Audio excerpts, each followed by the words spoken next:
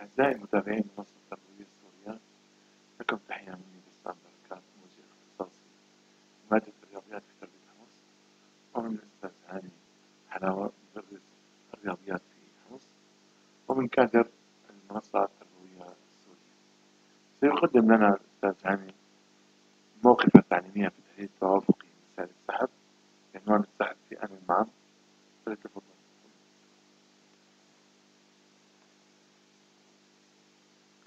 مرحبا بكم نتابع في حل مسائل السحب في النشاط الأول. الحالة الثالثة السحب في آن معا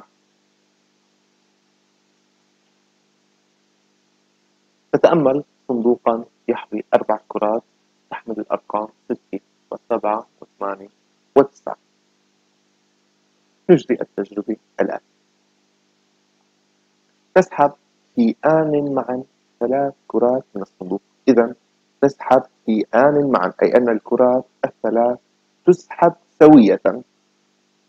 ندون أرقام الكرات الثلاث المسحوبة نلاحظ هنا بما أن الكرات تسحب معا فإن كل نتيجة للتجربة هي مجموعة جزئية مكونة من ثلاث عناصر مأخوذة من المجموعة E والتي عناصرها 6 7 8 9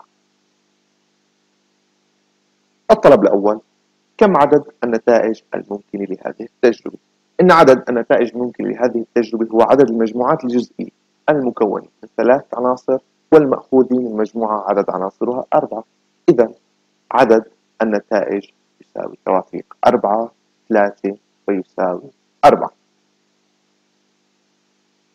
الطلب الثاني كم عدد النتائج الممكنة والتي يظهر فيها العدد سبعة؟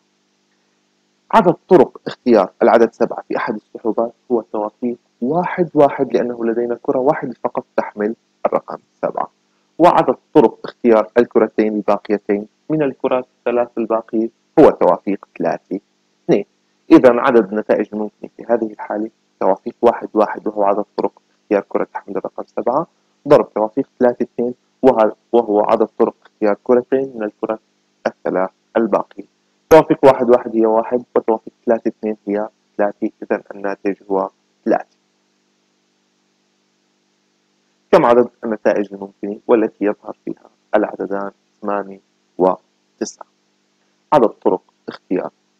تحمل الرقم ثمانية هو توافيق واحد واحد.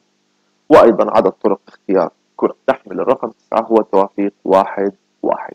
وأخيرا عدد طرق اختيار الكرة الثالثة من بين الكرتين الباقيتين هو توافيق 2 1 إذا عدد النتائج الممكنة في هذه الحالة هو توافيق 1 1 ضرب توافيق 1 1 ضرب توافيق 2 1 الناتج هو 2 نتمنى الفائدة وشكرا لحسن المتابعة.